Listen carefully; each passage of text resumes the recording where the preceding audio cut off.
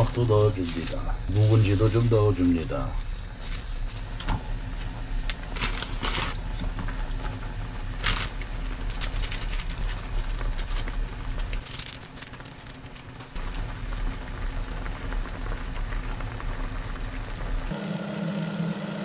안녕하세요. 밥 줘요. 오늘 라면에다가 양 별걸 다 넣어봤구만. 김치 넣고 햄 넣고 만두 넣고 호박 넣고 파 넣고 한번 끓여봤어요. 잡탕라면이요. 이놈에다가 시골집 요양부 사이모님이 담아주신 그 양파김치랑 만나게 잘 먹겠습니다. 잘 치다 보시라 이 말이요.